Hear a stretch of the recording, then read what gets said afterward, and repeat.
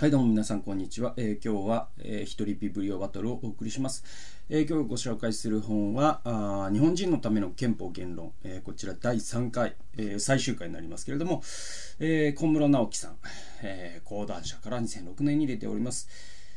えーまあ、小室直樹さんはね、えっと、地の巨人というね、もうすごい人ですよ。あの宮台真司さんとかの師匠、師匠筋というかですね、まあ、東大の先生ずっとしてた方です。で、えっとね、まあ、あの、憲法とは何なのかっていう話なんですけども、えーあと2箇所ね、引用箇所が残ってたので、それをね、今日やっていきたいと思うんですけれども、あの、リヴァイアさんっていうね、話があったじゃないですか。えっと、ロックが、なんですよね。えっ、と、リヴァイアさんですね。えっ、と、国家権力はリヴァイアさんなんだ。自然状態では人、万人の万人に対する闘争になってしまうから、人々は、えー契約を結び始める。えーで、契約を結び始めると、中国家っていうのが出てきて、それらが、あ互いに、えーまたね、いがみ合うから、もっと大きな権力が人間には必要で、それがリヴァイアさんなんだ。でそのリヴァイアさんというものはもう誰もね太刀打ちできないからあなんとかですねこの権力を縛っておかなきゃいけない。ね、リヴァイアさんがその人間を蹂躙しないようにですね、縛っておかなきゃいけない。えそれが実は憲法という概念なんですよね。えっとね、よく言われるんですけども、まあこれあの、まああの、社会のね、中学校とか高校とかで習ってるはずなんですけれども、あの僕らって憲法違反ってできないです。ええ、あのできないですよ。あのなぜかというと憲法って、えっと、憲法を破れるのはあの為政者行政だけなんですよ。知ってました？皆さん。だけなんですよ、えーそうなんですよ。だから、うんと、憲法というのは権力から人権を守るために存在するので権力を縛っておくための法律が憲法だから、ね、市民が憲法に違反するってことはありえないんですよね。憲法にもし違反できるとしたら国だけなんですよ。はい。そうなんです、はい、憲法というものの概念がそもそもそうなんですよ。でこれをぜひ押さえておいてほしいな。これがまあ立憲主義と言われる、まあ、憲法の常識なんですけれども実はねあのーそこを踏まえてないとその憲法改正の議論とかって実はね全然意味をなしてないんですよね。だって概念把握がそもそもできてないんだから改正するも何もまずそれを把握してから改正しないといけなくてで、えっと、まあ、小室さんの引用に移っていくと、このちょっとね、戦前の話をね、えっと、小室さんはするんですよ。それは戦前は議会、戦前の議会がですね、軍部に対する批判を自ら自主規制し始めるんですね。まあ、その陸軍が、あの、226事件とかね、えーの後のことですけれども、陸軍が暴走していった時に、えー、とその軍部に対する批判をですね議会自身が自主規制したんですってで軍を批判した斉藤隆夫議員を自ら除名してしまったんですよねこれってだから今のその忖運動というかさ ね その首相の意向にを忖度して文章を破棄する。で忖度だから命令なんてなくてだから証拠が残らないみたいな形なんだけれどもこの時もその忖度によって軍を批判した斉藤議員という人を議会自らが除名してしまったということがあったよと。でこの時軍閥に抵抗し選挙に訴えていたらあるいは軍の予算案を否決していたらという可能性はいくらでもあったわけですよ。でね議会があの軍が暴走したことに対して議会でバランスを取ることはいくらでもできた。それは議会によって軍の予算をですねカットするぞと言ったりとかですね選挙してですね、えーじゃあ決めよう国民が軍を支配あの、ね、軍閥をね支持するのかあるいは議会を支持するのか仰ごうよって言えばできたんですよ。だけれども議会自体が自殺してしまったって、いうふうに、うん、小室さんは言ってるんですよねそしてこれが戦前の日本のデモラデモクラシーの命日だったって小室さんは言うんですつまり、えー軍を批判した斉藤隆夫議員を議会自らが除名してしまったということがえーねえー、ともう日本の議会民主主義が死んだ日なんだよっていうふうに、えー、とこ小室直樹さんは言ってるんですね。はい、でさらに、えっ、とアメリカでも大統領よりも議会が上なんですよね。はいえっ、とアメリカでもですねアメリカの大統領ってすごい権限を持っているんだけれどもそれでも議会の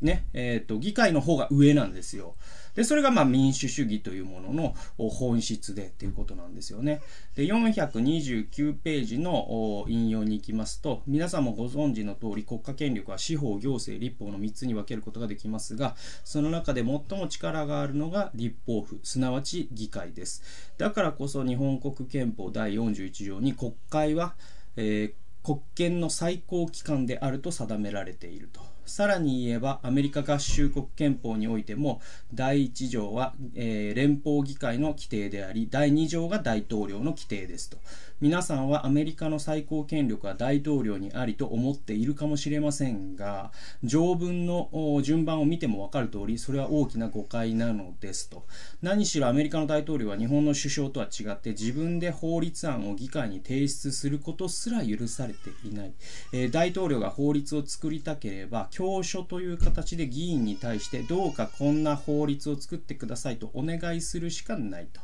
え、大統領といえども議会を自由にすることはできないのです。え、そこれに対して議会の方はあ大統領の行動をあれこれあれやこれやと好き勝手に批判し制限できるのですからあやはり議会の方が一段上にあると。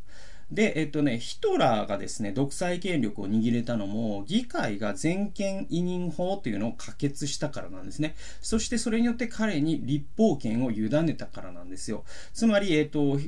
ヒトラー、だからナチスの場合も同じで、議会が自殺してるんですよね。議会が自ら全権委任法というのを可決しちゃって、ヒトラーにその立法権を委ねたことで、まあ、その独裁が完成したっていうことがあるんで、で、えっと、議会の方が大統領よりも上なんだよ。で、日本本で言うと、その戦前の日本で言うと、その軍部よりも上なんだよっていうことが、その民主主義を担保するものであり、だからこそね、合衆国憲法においても、第1条が議会の規定であり、第2条があ大統領の規定。えつまり、え議会の方が大統領よりも偉いんだよっていうことなんですよね。で、これあの、まあ、あの、シビリアンコントロールとかってよく言われるんだけれども、うんと、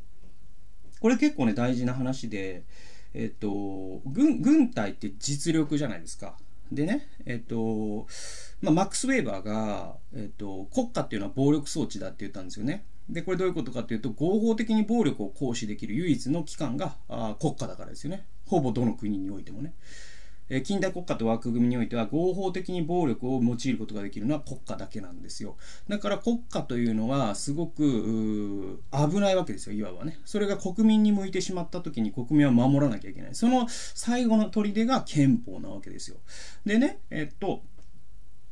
この、じゃあ、えっと、エアフォースワンってあるじゃないですか。その大統領のね、アメリカの合衆国大統領の、えー、専用機のことをエアフォースワンって言うんですけど、なんでかっていうと、エアフォースって空軍ってことですよね。空軍の第1号機は大統領の専用機なんですよ。ってことは、アメリカ大統領ってですね、えー、軍の総指揮官なんですね。皆さんも多分ご存知の方はご存知だと思うんですけれども、えー、でも、シビリアンコントロールって何かっていうと、その軍、えー、連邦政府のアメリカ軍という、まあ、世界最強の軍隊を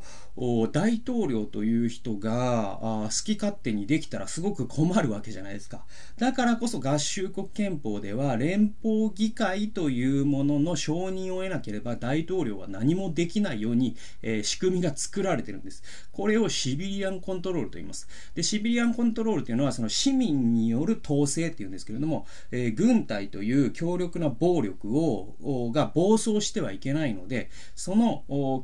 決定というのは必ず民意を経なきゃいけない。つまり、ま議会、具体的には議会を経なければいけないという考え方なんですよね。で、このパワーバランスのところをよく把握しておくとということが、すごくですね、憲法は何、憲法とは何か、民主主義とは何かということを把握することにつながっていくので、すごく大事なことです。でね、最後にね、うんと、最後の引用なんですけれども、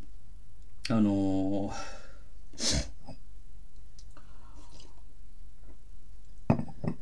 はい。えっ、ー、とね、日本国憲法についてです。ついに、まあ、日本国憲法の話になっていくんだけれども、あの、第2回で伊藤博文の話をしたじゃないですか。でね、えっ、ー、と、日本国憲法について、まあ、あの、日本国憲法について書かれた本だけでも多分国内で万の桁に行くんじゃないかぐらい書かれてますよね。ね。で、憲法改正賛成派、反対派、いろいろいると思うんですけれども、まあ一つの論調にあれは押し付け憲法だからダメなんだっていうのがあるわけですよ。押し付け憲法だから、あの、自分たちの手で作らなければいけないっていう、まあ結構その右派のね、人たちがよく言うことなんだけれども、え小室さんは、えっと、なんて言ってるかっていうと、今日本国憲法は正直機能してない。だから改正すべきだって彼は言うんですよ。で、具体的には、救助の周りのことで言えば、えっ、ー、と、徴兵制を敷くべきだっていう言ってて。で、それがさっきのシビリアンコントロールと実は関係あって、そのアメリカの議会の議員に、えー、議員の親族に、えー、っと、軍隊にね、えー、行った人っていう率が、例えば、確かね、ジョン・ F・ ケネディとか行ってるんじゃなかったかな。だけど、それ以降の大統領ってね、ほとんどが行ってないんですよね、軍隊ね。クリントンとかもそうだし、トランプもそうだし、兵役逃れをどっかでしてたりするんですよね。で、えそれがま大統領がそうなんだけれども、議員もみんなそうなんですよ。どんどんエリートになればなるほど、兵役逃れってやりやりやすくなるんですよ。ちょっとその病気がありますねとか、まあ、あの、徴兵制じゃないからなんとも言え、あの、今は関係ないんだけれども、あなんだろうな、その、昔だったら兵役逃れなんだけど、今でもそのアメリカ、イギリスにはね、ノブリス・オブリージュっていうのがあって、一番偉い人は軍隊の最初の、とえなんだろう、その、えー、戦争でト、えー、先頭に立って戦わなきゃいけないっていうのがあるじゃないですか。エリート主義ね。で、アメリカにもその伝統がある程度あるから、だから軍隊に関わったっていう、うなんていうのかな。えっと、アリバイが欲しいんですよ、みんな。で、そのアリバイだけ作って、うんと、実は何もしてないっていうケースが多くて、確かね、ブッシュ、大統領ですよね、コブッシュがその疑惑でなんかスキャンダルになったことがあるんですよ、一回。実はその軍隊に席を置いてたんだけど何も実はしてなかったっていう報道が確かあって確か本当に何もしてなかったんですよね。だから軍隊にいたよっていうのはそのパフォーマンスにはなるんだけど軍隊になんて行きたくない誰も。だからそのいたというなんかこうアリバイだけね書類上のアリバイだけ作ってっていうのをみんなやるんですよでとにかくその議会のねアメリカの上院と下院の議員の人たちはその軍隊に行かなくなっているんですよどんどんどんどんで昔は行ってる人たちが半分以上だったんだけど、今ほとんど誰も言ってないわけですよ。エリートだらけだから。で、そうすると、その、議会の、うんと、親族とか議会の議員本人が軍隊に行ったことのある時期っていうのはアメリカあんまり戦争しないんだけれども行ったことがない人が大半を占めると戦争するようになる。でだから小室さんは日本語憲法を改正するときに全員どんなエリートもえ、えっと逃れられないような形の徴兵制を敷くことによって日本のその軍隊っていうのはちゃんとシビリアンコントロールのもとに置かれるっていうのをまあ彼は論立てしていく。で話を戻すと小室さんはその憲法を改正すべきだっていうんですよ。なぜなら今機能してないからだって言うんですよ。で、えっ、ー、と、有名無実になってしまってるからだったってことですね。で、その理由が、その右派の人たちと違う。えー、右派の人たちは押し付け憲法だから変えなきゃいけないって言うんだけれども、ね、えっ、ー、と、小村さんが変えなきゃいけないっていう理由は、それがアメリカ人によって作られたからなんだっていうんですよ。で、どういうことかというと、アメリカ人ってですね、その1945年の時点のアメリカ人、少なくとも、は、世界はですね、やがて自然に民主主義になっていくという予定説に無意識に立っていたんですよ。ね？世界っていうのは黙ってれば民主主義になっていくもんだって彼らは思ってるんです。で、そういう前提に立って憲法というものを想起したのが、早期というか、まあ、早期に、まあ、あの、深く関与したのが、まあ、アメリカ人ですよ。なんか実際に書いたのって、なんかすごい若い女性だったっていう話がありますね、確かね。アメリカ人のね。で、それが、まあ、そもそもの間違いで、小室さんはそうじゃないって言うんですよ。実は、実態は真逆で、民主主義が根付くっていうのは奇跡のように難しいことで、ねえー、だから民主主義が根付くのは奇跡のように難しいと分かっていればそれなりの憲法を書いたはずなんだけれども当時のアメリカ人というのがあまりにも楽観主義で民主主義っていうのはどんな社会にも憲法さえ作れば機能するんだって思い込んでた節があると。で、そういうふうに作られた憲法だから、その民主主義への徹底が甘くなってるんだっていうのが小室さんの論立てなんですよ。で、478ページね。えー、そのことは伊藤博文の苦心を見ればすぐにわかります。伊藤は憲法の本場であるヨーロッパを見て回り、日本が憲法を持つのは並大抵のことではないと気づいた。えー、蒸気機関車や伝統を輸入するのと同じように憲法を輸入することはできないことを知っていた。そこで彼はいろいろ考えた挙句に天皇教を導入することにしたわけですと。えー、これ僕第2回で話したんですけれども、もう一度ね、えー、うんとおさらいしますと、伊藤さんはですね、その、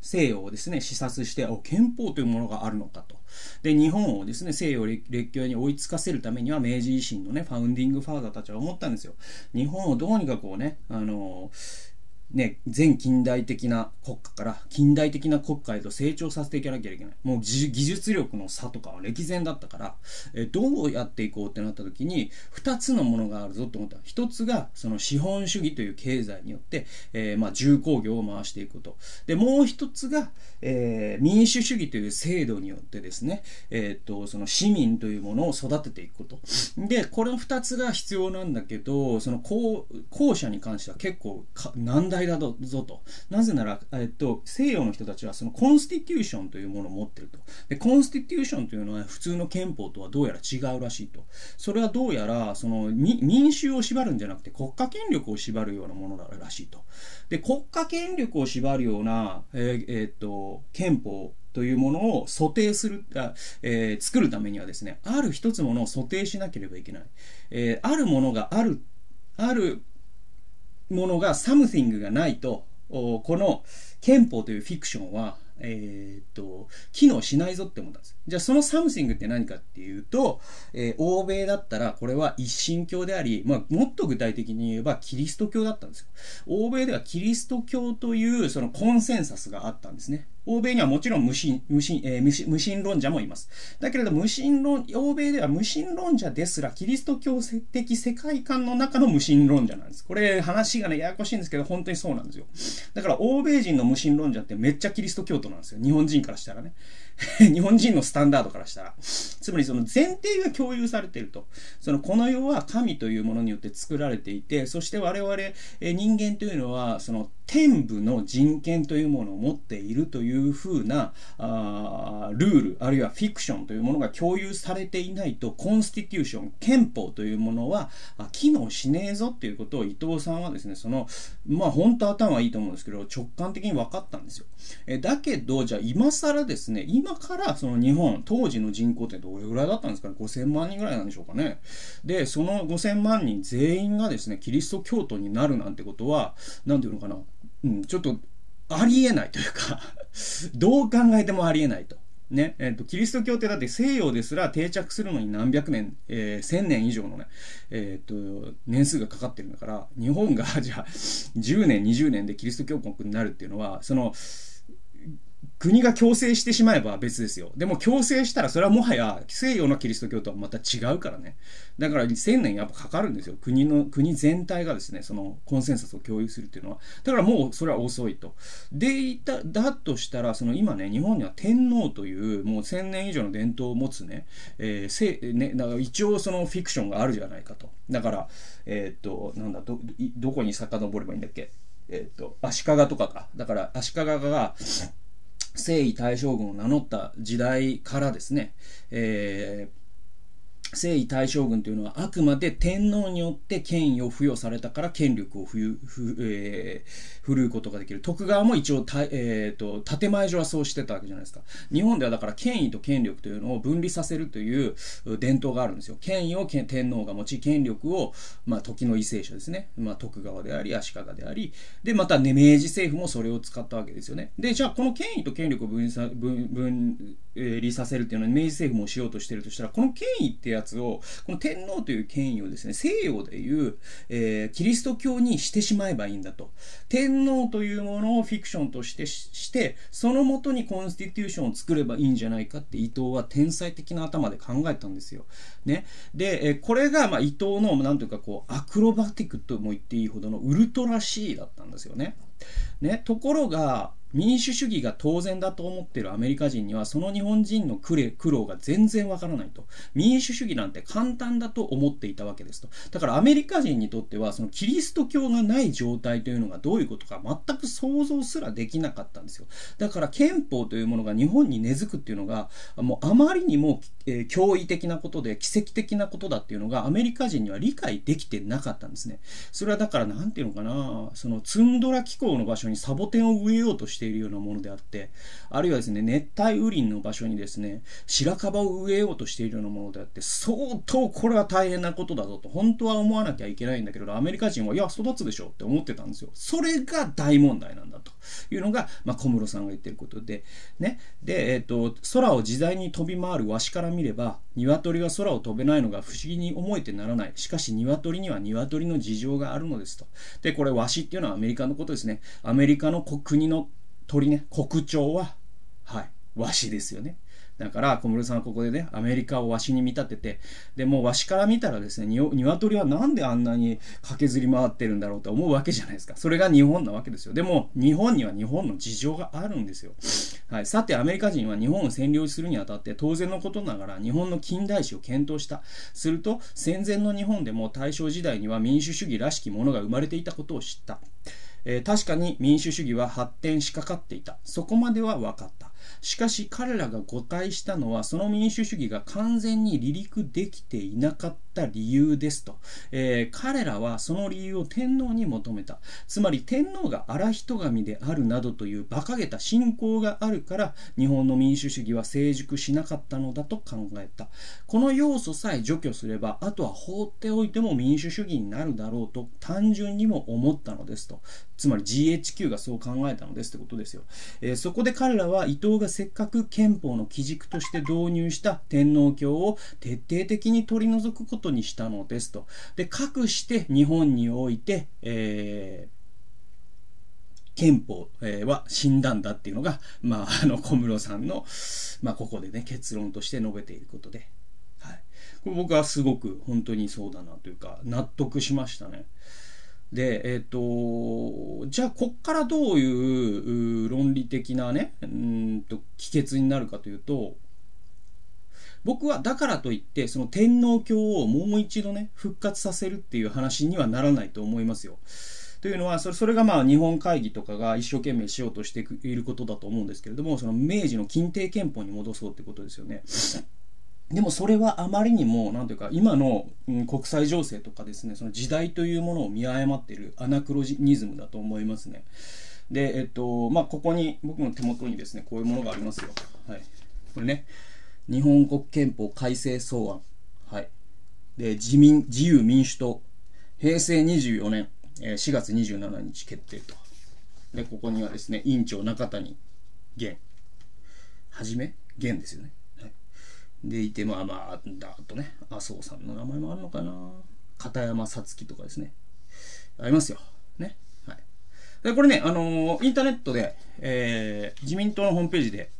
PDF でダウンロードできますのでこれもう本当ね本当に僕みんなに本当本当読んでほしい。本当に自民、今の自民党が憲法というものをどう考えてるのかっていうのを、本当ね、みんなね、読んでください。で、それは自民党は素晴らしくて、自民党が言ってる憲法改正はぜひすべきだと言ってる人こそ読んでほしいし、で、え逆にですね、自民党けしからんと、憲法9条を、ま、守るべきだという人にも読んでほしいですよ。どっちにも読んでほしい。で、えっと、これを読んでないのに、議論ってだって前提整わないじゃないですか。ね、自民党が憲法改正してる、いいね、いいねって言ってるんだけど、その改正の内容を見てないんだったらさ、それってなんだろうな、あの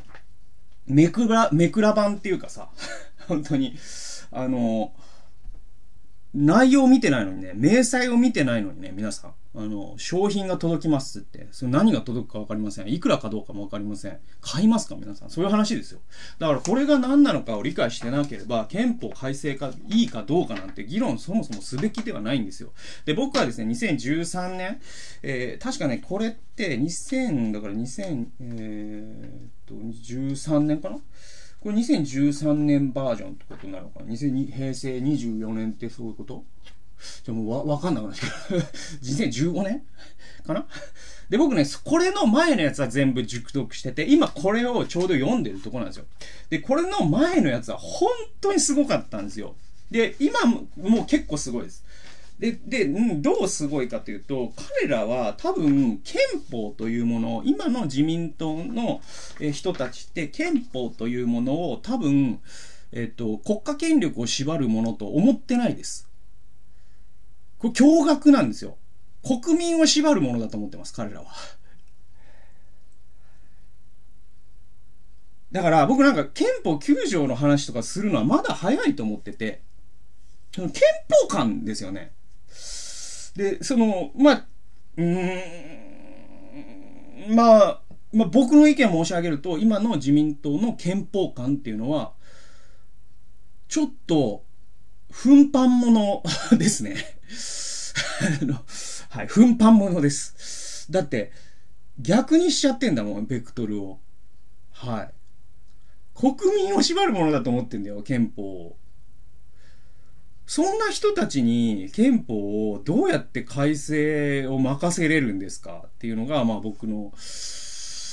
意見ですね。まあそれを聞いて、あいつはリベラルだとかね。うん、あの、怒る人もいるのかな。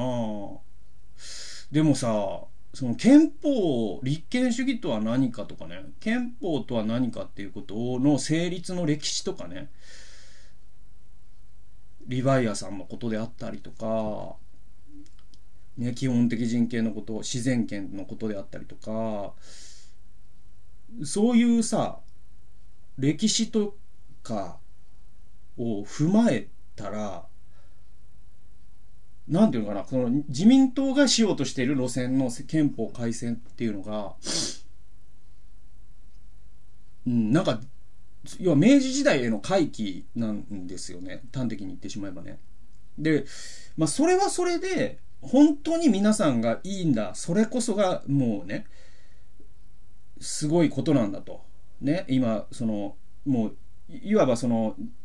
民主主義陣営、世界の民主主義国家、自由主義国家、自由主義陣営っていうのがあるわけですよ。アメリカを中心とする、まあ、ヨーロッパとか、まあ、いわゆる工業先進国はほぼそれで、でもそれの例外が中国とか、北朝鮮とか、あまあ南米の一部の国も、まあ、ある種の独裁だからそうなるし、アフリカの、ね、独裁国家もそうだし、そういう例外的な国があって、